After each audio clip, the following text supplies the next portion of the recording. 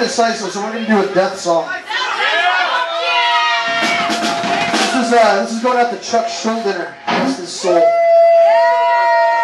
Metal, metal tends to kill you.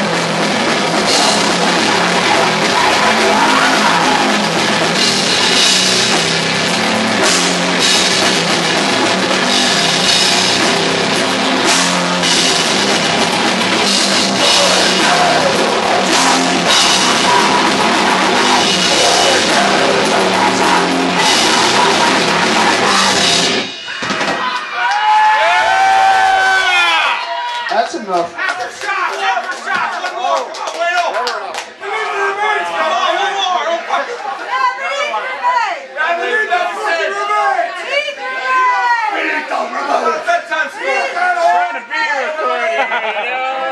That's it. So I'm playing a jukebox and go get some drinks.